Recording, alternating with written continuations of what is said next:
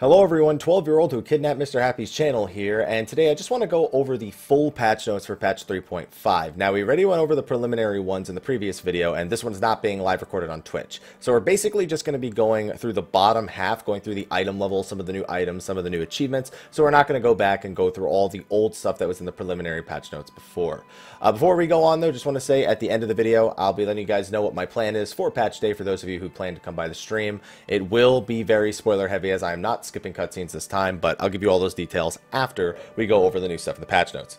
So starting right at the bottom, we have confirmed issues and we have uh, resolved issues down here. We didn't go through those last time, although this one's in pretty big text. Issue where the market board where certain low-level equipment displayed, performing a search for level 60 foot equipment for Thaumaturge, Conjurer, Arcanist, Black Mage, Summoner, White Mage, Scholar. Items that are not displayed can be seen by performing an item search with search or setting the range. Okay, apparently it's just a search issue. I just noticed it was in way larger text that, uh, that it would I don't know that it was it was doing that so I got a little distracted.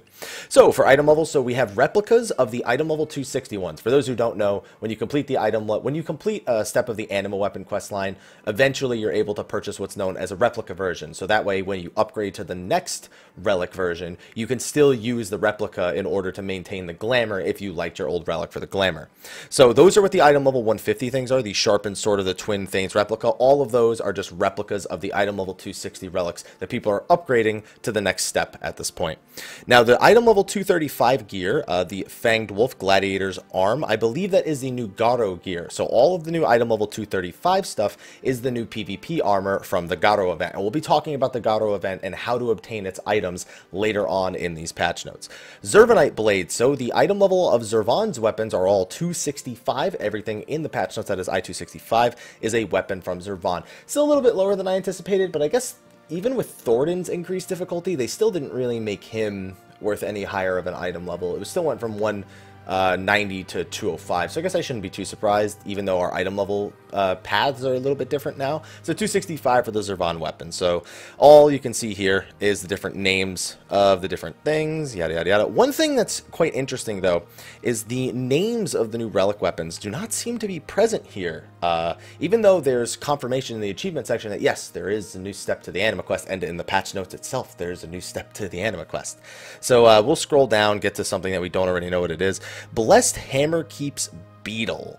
Item level 200, Blessed Gem keeps Mal. Oh, so these are the new Luminary equivalents of the Crafters and Gatherers items, and the achievement that describes how to get those is a little bit under. But basically, if I recall correctly, it's all about uh, how many unique recipes you've crafted. So it's not super grindy, but it's going to require you to fill out your crafting and your gathering log. Uh, that's what all the item level 200 stuff is. There should be, you know, Tackle Keeps Ride. Yeah, these are all the new uh, Luminaries for, uh, for Crafters and Gatherers. These are some new items. Zundu head, we can probably assume that that's going to be coming from the Allied Beast Tribe quest. There's a few corsages, red cherry, blue cherry, yellow, green, orange, purple, black. Uh, you have Inspector's eyeglasses. I'd assume this comes from the Scholasticate. Uh, the face of the Golden Wolf. Okay, this is more stuff from item level 235, so this is more... Uh, this is more PvP stuff, Makai Priest stuff. Item level 245, for anyone wondering, is the item level of the new dungeon gear. Uh, that's a 20 item level jump, isn't it? Um, from the last dungeon gear to this one, I went from 225 to 245. Uh, that's going to be pretty nice for desynthesis, and even just because that means that it is now that these dungeon drops are superior to lore tomestones. So if you're a new player and you can get up to the minimum item level for the new dungeons, uh, this is a good alternative to lore. Uh, you can use your lore either for other classes or for filling in other pieces. Uh, it's a good item level to stick the new dungeon gear at. It makes it a little bit more valuable. Item level 260 stuff, this is the stuff that comes from the uh, from Dun Scaith, the, the final 24-man raid that we're going to be seeing in the patch.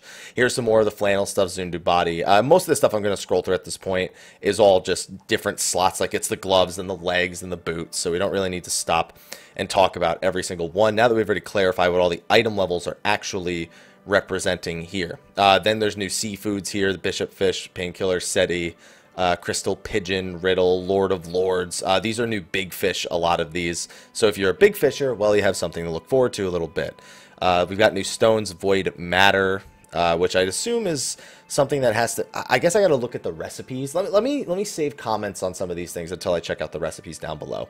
Flannel, Soul Stones, Numenite, uh, Cloud Acorns. I believe these are new uh, gathering items. Zervanite Carapace Fragment. These are the items that you can use. 10 of them trades in for a Zurvan weapon. Eventually, I'm assuming 99 of these will trade in for a mount. So even just spamming it as much as possible, not a bad idea.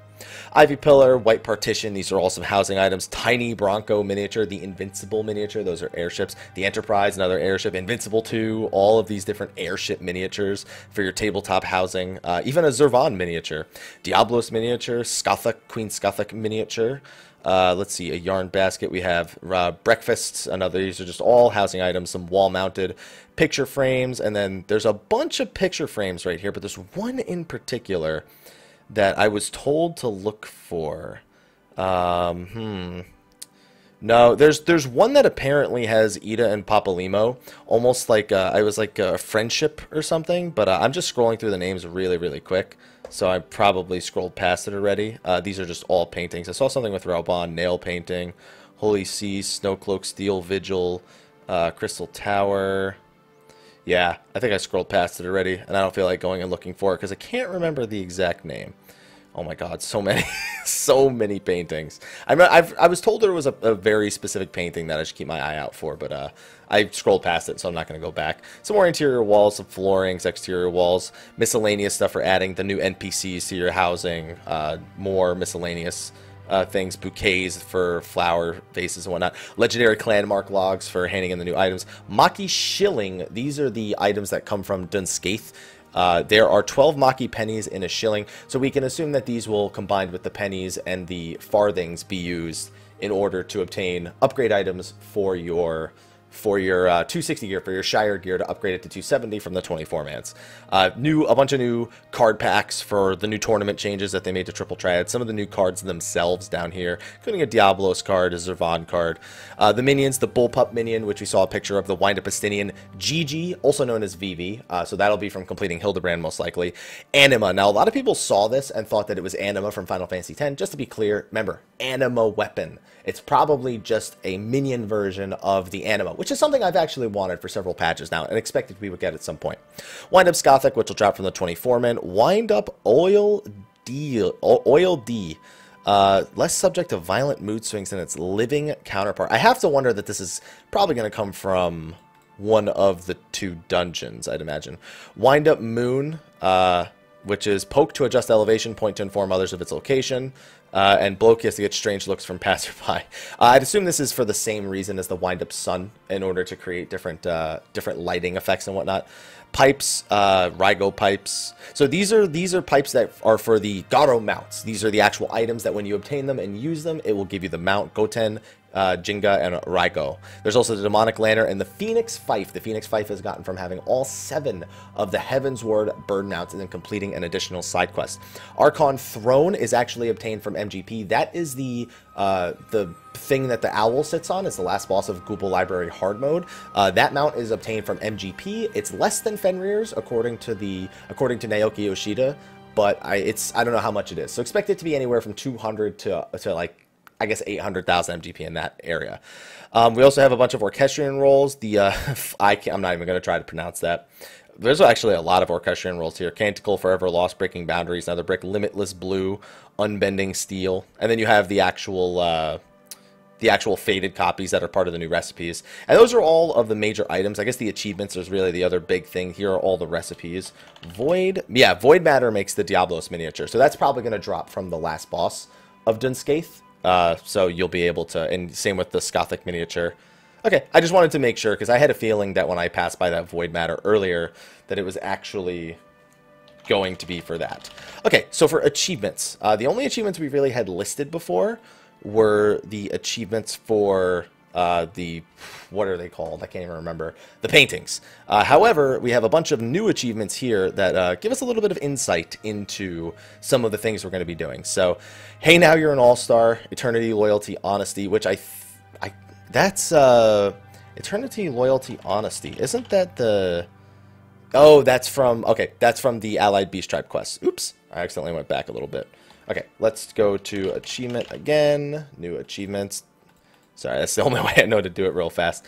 Um, discovered relocation, Baelsar's Wall. These are all easy. Mapping the realm. What's done is done. That's a great achievement name.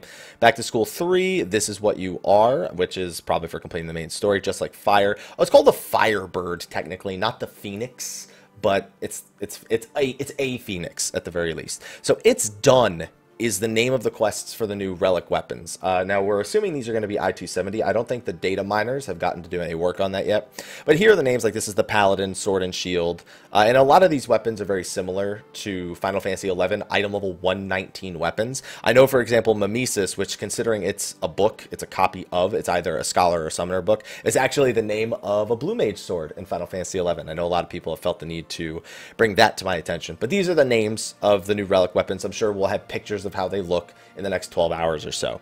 Uh, I made that carpenter. So this is how you get the new luminaries. Craft and record 320 unique carpenter recipes, 380 blacksmith. So it's all about unique recipes. If you're someone who's already been working on a lot of unique recipes, if you're someone who's really OCD about filling out your crafters and your gathering log, then you already have a great deal of progress towards your luminaries. If not, you have a bunch of achievements to look forward to to get shiny new toys for your crafters and gatherers. I know me personally, I'm pretty far along on I found that miner 5, but I was definitely probably about 70 70 or so unique ones that I don't have. So I'll definitely be working on that personally.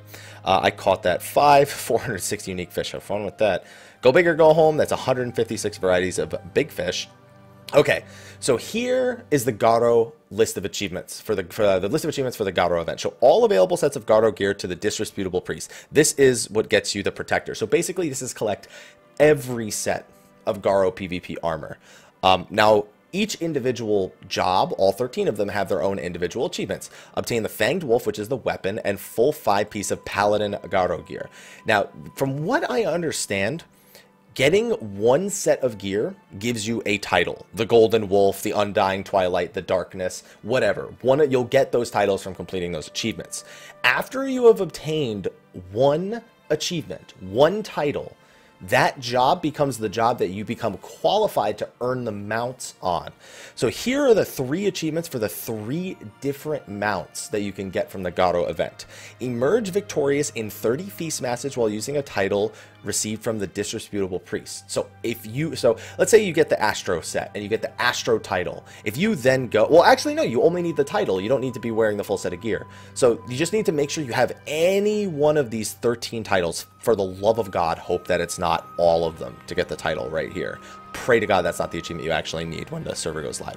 So you just get one, any title, put it on your character, and then you just need to start winning PvP matches in order to get the Garo stuff. What's very interesting to me is that none of the Garo stuff is listed in like, is obtainable with Manderville Gold Saucer points or anything here. Um, they said that a dyeable version would be from PvP and a non-dyeable version would be from MGP, and they said that multiple times. You can check multiple sources on that. I'm wondering if when the servers go live, it, we'll find out that there are undyeable versions uh, via MGP, uh, but we'll kind of just have to wait and see because I don't know. I only saw one version of the items when I was scrolling through before. Uh, for Frontline Fury, same deal, 10 frontline campaigns, and then for Furious Fatalities, this is like the ultimate mount, I guess. Uh, emerge victorious in a combination of 60 frontline campaigns and feast matches while using a title. So you could technically, if you don't want the feast one, if like this is a mount that doesn't appeal to you, you could just do 60 frontline or win 60 frontline campaigns in order to get this. You don't need the feast, but if you don't do the feast, 8v8 should count, by the way, then you won't be able to get all three mounts. Other than that, uh, there's just some other changes that are like sprinkled throughout here. Unfortunately, I'm not going to be able to find all of them. I feel like those were some of the most major ones and the ones I was getting the most questions about. So I felt like it was important to go over those. But anyway, hopefully you guys are looking forward to patch 3.5. Me, I am going to be waking up, going live before the patch goes live, as long as the patch doesn't go live before 2 a.m. PST. If the patch goes live before 2 a.m. PST, I'll do my best to be on as soon as it's available, because I'm going to be up a couple of hours before the patch, and that's just why I'm going to go get some sleep soon. Uh, so I'm going to start with Zurvan Normal. I am going to watch all the cutscenes, finish the Warring Triad quest, then go unlock go unlock Zurvan Extreme. I'm going to progress on that. Hopefully, we'll have that done in two or three lockouts. Can't foresee it taking much longer than that. Uh, at 9 a.m., I have a pre-made Dun Scaith. All 24 people pre-made, uh, with my free company. We're going in blind, and uh, they're going to troll the hell out of me. So that's going to be fun.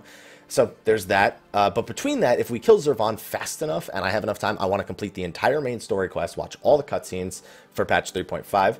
Any other extra time is probably going to be put towards uh, Hildebrand after I finish Dun Scaith, I'm going to finish the other dungeon. Uh, I'm going to finish Sohm Al if I haven't finished it already. And then I'm going to go do all the side quests. I'm going to go do Hildebrand. I may even catch up on the Scholastic if I find myself interested enough. And then it's guide making time. We have State of the Realm tomorrow at 4 p.m. PST. We have Mary on the show. I got to double check to see if Ethis is going to be able to make the show. And I am hoping for a damn good time. And on top of that, don't forget, February 18th, we get to find out Blue Mage, Samurai, Puppet Master. Who cares? We get to find out the jobs on February 18th. And then we have patch 3.55 with the Diadem as well as actually was I keep always forgetting if the diadem is 3.55 or part 2 which by the way are confirmed to be different patches. 3.55 end of February. Patch part 2 is in March. It sounds weird and it sounds wrong but that's what they told us so it is what it is. Uh, so we got plenty of stuff to look forward to with Final Fantasy 14 over the next few months as we wait for Stormblood. Hopefully you guys will enjoy it on the channel. Be sure to like favorite subscribe and share and I will see you guys for patch 3.5 tomorrow morning. Until then take care